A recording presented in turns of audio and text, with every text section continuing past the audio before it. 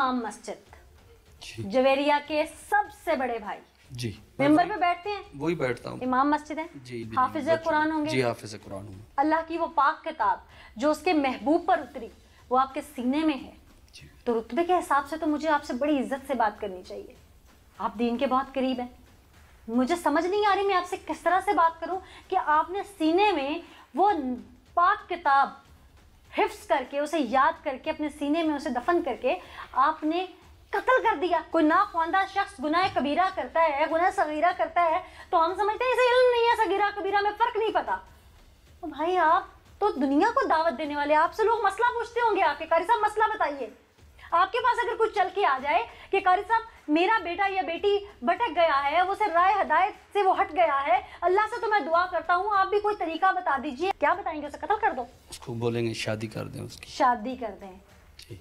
तो अपने बारे में क्यों ना ये ख्याल आया? शादी के बारे में उससे खानदान में करते खानदान में ज़रूरी था। इमाम मस्जिद थे आपके पास तो कई आपके शागिर्दकारी भी होंगे जो कि शायद आप उस्ताद थे उस्ताद की बात ना डालते हों निकाह कर देते उसका किसी के साथ। डांट डपट करके घर में से रुखसत करते वो डोली से उतर के भागती तो मुझे समझ में आता कि शायद पकड़ते पकड़ते उसको कोई ऐसी लग गई कि वो मर गई। आपने क्या किया? अपनी ज़िम्मेदारी को उतार के उसको बोरिंग बंद कर दिया कत्ल करके। अल्लाह पाक ने ज़िंदगी और मौत का इख्तियार ही तो अपने हाथ में रखा है। इंसान कौन होता है ये इख्तियार लेने वाला? ये अमल सही नहीं है लेकिन हमें इतनी जज्बात के ऊपर ऐसा मामला हो गया कि बहुत ज़्यादा उसने वो प्लान कैसे किया था? प्लान से किया था पहले गाँव में उसकी काफ़ी ज़्यादा जो है ना मामला होते रहे। अबू ने भी देखा और मैं भी एक दो मरतबा वहाँ पर गाँव में गया तो मैंने भी देखा। क्या देखा?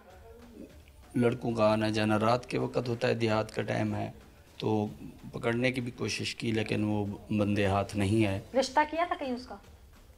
जी वो हमारी पहले तो कोशिश ये थी कि ख़ानदान में करें जब वहाँ नहीं हुआ तो फिर ये इस प्लानिंग कर जब कोई बच्चा इतना राह रास्त से हटक हट जाता है तो उसमें कोशिश कि उसका अच्छा रिश्ता आइडियल रिश्ता है ऐसी क्यों? कहीं भी कर देते। वही मैं अर्ज़ कर रहा हूँ कि हम वहाँ से लाहौर में जब लाए तो यही नीयत थी मेरी लाहौर में आए उसको कितने साल हो गए थे? उसको तकरीबन दो साल दो साल में आपने अपनी नीयत ही की सिर्फ़। अमल क्या किया उसको मारने वाला? वहाँ से जब आए थे तो यही नियत करके मैं आया था किसी को मैंने पाया तकमील तक दो साल नहीं पहुँची नियत आपकी।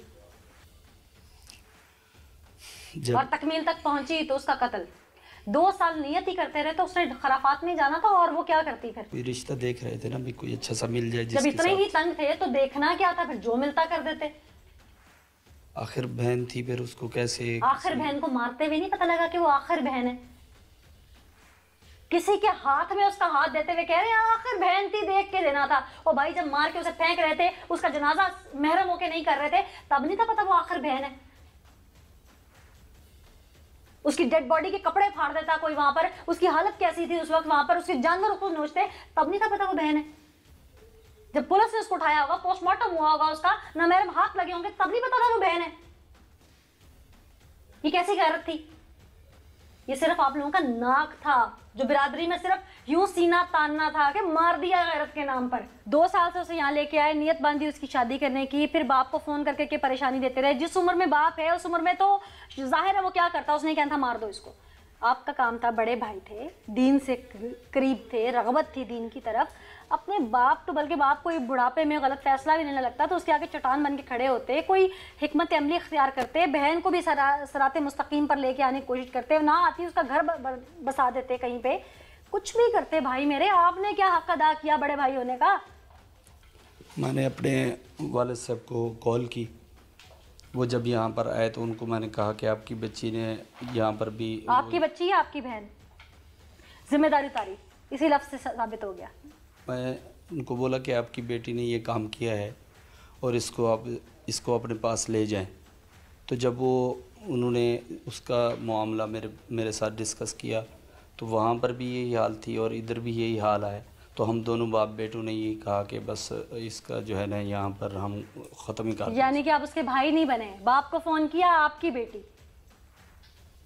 भाई नहीं बने आप उसके अच्छा फिर? फिर जो है ना वो फैसला हमने दोनों बाप बेटों ने ये किया कि इसको ख़त्म कर दें। फिर? फिर उसके बाद हम दोनों जो है ना उसको बुलाया और वहाँ पर घर पर जो है ना वो बुलाया मतलब? जब वो यहाँ यहाँ पर आई हुई थी ना अबू को मैंने बुलाया तो इधर आए, आए तो उसको जो है ना कमरे में सो रही थी उसको उठाया और अब्बू ने सर में डंडा मारा और मैंने हाथ और पाँव पकड़े और अब्बू ने दुपट्टे से गला दबाकर उसको दुपट्टा कौन सा? जो ओढ़ा जो उसमें बुरखे का होता है ऊपर होता है। जी जी उसके साथ। अच्छा फिर? फिर उसको जो है ना गला दबा के ख़त्म फिर? फिर उसको जो है ना हमने बोरी में डाला और ऊपर से चादर से बाँध कर मोटरसाइकिल पर रख के नीचे भाई इकबाल खड़ा हुआ था, उसको मैंने कहा कि आप ख्याल रखें। वो मोटरसाइकिल निकाला उसने। वो आ गया कि मोटरसाइकिल पे था, हम पीछे मोटरसाइकिल पे दोनों बाप बेटा थे और उसको जाकर वहाँ पर मोटरवे के पास ज़मीन, उसमें खेत में जो है ना हम फेंक दिया। अल्लाह पाक ने फरमाया है कि ये जो रिश्तेदारियाँ हैं और ये जो बरदरियाँ हैं, ये तो हमने तुम्हारे तारफ़ के लिए बनाई हैं। बरदरियाँ इसलिए नहीं हैं कि तुम जो है इसकी वजह से लड़ाइयाँ झगड़े शुरू कर दो। बल्कि बरदरियाँ तो सिर्फ़ तारफ़ के लिए हैं। असल जो हमारी बुनियाद है, वो ईमान है। इस्लाम में कत्ल करने की तो बिल्कुल इजाज़त नहीं है। और ये उन्होंने बहुत बुरा फेल किया है। और क़्यामत वाले दिन इनसे पूछा जाएगा कि तुमने इस बच्ची को क्यों कत्ल किया? बच्ची का हाथ होगा और इनका गिरेबान होगा।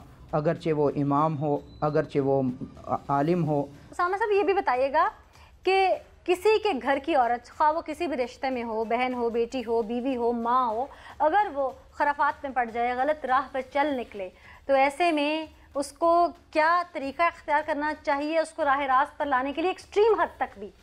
और दूसरा सवाल जो मैं आपसे करने जा रही हूँ, दोनों का जवाब चूँकि इकट्ठे दे दीजिएगा आप। दूसरा ये कि उसका जिम्मेदार है कौन असल घर में? ये मैं इसलिए पूछ रही हूँ क्योंकि सन बलूगत से लेकर जब तक उसकी शादी नहीं होती वो वालद या भाई की ज़िम्मेदारी में होती है, उसके बाद, शादी के बाद खामन की ज़िम्मेदारी में और अगर बेटा जवान हो गया तो फिर उसकी ज़िम्मेदारी में, और अगर उनकी जिम्मेदारियों में रहते हुए वो डी ट्रैक होती है तो किसके ऊपर असल में हर्फ उठना चाहिए? ये गैरत के नाम पर क्या उस औरत का ही कत्ल होना चाहिए? देखिए जी, मैंने अभी भी आपको बताया है कि इस्लाम और शरीयत में ये हुक्म है कि जैसे ही बच्ची जवान हो जाए फ़ौर उसका रिश्ता ढूंढा जाए। अगर नहीं ढूंढते तो वो गुनागार होंगे, जो वरसा हैं, वालदेन हैं, या जो भी उसका वारिस जो है, वो बनता है, वो गुनागार होगा। हुजूर सल्लल्लाहु अलैहि वसल्लम ने बरादरियों से हट कर भी शादियाँ की हैं, और बरादरियों से हट कर शादी करना ये कोई जुर्म नहीं है, बल्कि ये हमारे ईमान का तकाजा है कि जब भी बच्ची बालिग हो जाए तो कोई ये ना देखे, फ़लाँ बरादरी है, फ़लाँ बरादरी है। बल्कि जिस बरदरी में भी अच्छा रिश्ता मिले, मेरी रिक्वेस्ट है पूरी आवाम से कि जहाँ रिश्ते मिलें, अच्छे रिश्ते मिलें, इस्लाम देखें, दीन देखें, बच्चियों का टाइम से निकाह करें, ताकि इस निकाह करने से खराफात और इसी तरह जो बुराइयाँ हैं, वो मिटती चली जाएँगी। जाते मैं ये कहना चाहूँगा, तीनों बाप बेटों को सख्त से सख्त सज़ा देनी चाहिए, ताकि गैरत के नाम पर आइंदा कोई किसी को कत्ल ना कर सके।